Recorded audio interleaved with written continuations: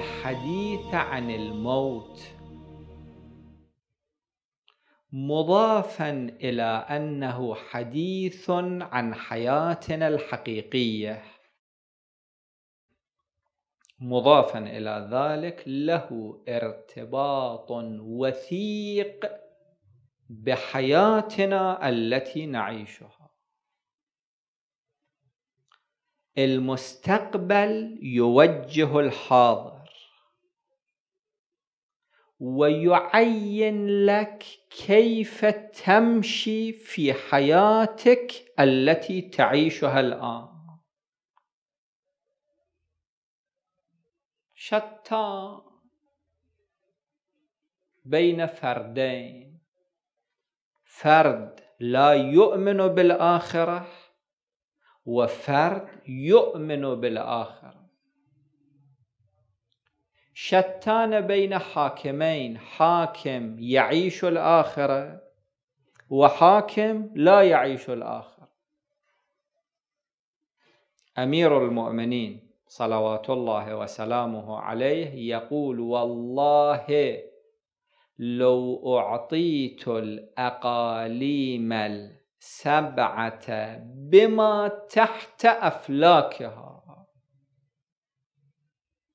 على أن أعصي الله في نمله أسلبها جلب شعيره. ما فعلت. هذه روحية الذي يؤمن بالآخر. ربما لا يكون ذلك معصية مطلقة. وربما يكون ذلك معصية نسبية.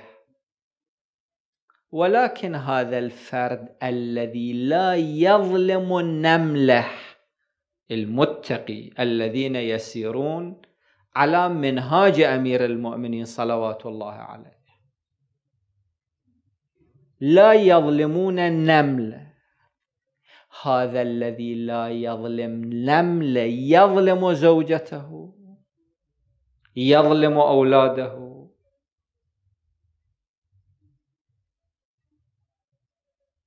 يظلم شعبه إذا كان حاكم. هذه الفجائع التي رأيناها في عهد البعث في العراق ناشئة من عدم الإيمان بالآخر. الحاكم الذي لا يؤمن بالآخرة يمكن أن يفعل كل شيء. يقتل الملايين. والحاكم الذي يسير على خطى أمير المؤمنين صلوات الله عليه لا يسلب من نمل جلب شعيره.